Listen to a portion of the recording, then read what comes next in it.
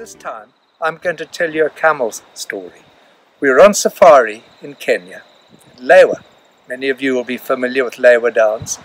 And we were on our way, we packed up camp.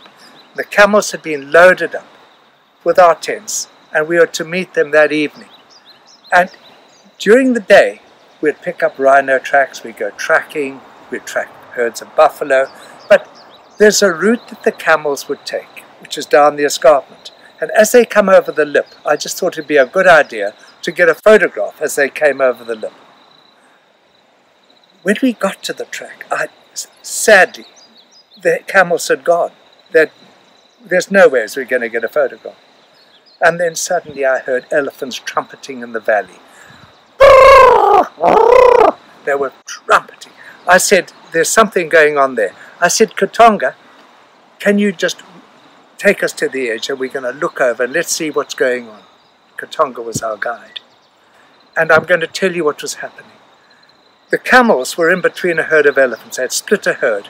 And the cow elephant, which had been separated from her family, charged at the camels. And literally there were, there were warriors leaping out of the way, running up the slopes. One even hurled a rock at the, cam- at the, at the, at the elephant. And down the camel went she had been knocked to the ground by the, by the charging elephant. And she knelt down on her knees and began to gore this poor camel. And then down came the warriors again. And they took hold of another camel, its lead rein, which had a baby still attached to it. And they ran, and the elephant charged, left the one on the ground, the camel on the ground, and she charged them up the slope. I've never seen warriors run so fast. They outran the elephant cow. She then, the cow then went and rejoined her herd. I said, Katonga, please just go down and just sort things out. And I'm so, I just don't want to see how damaged that camel is.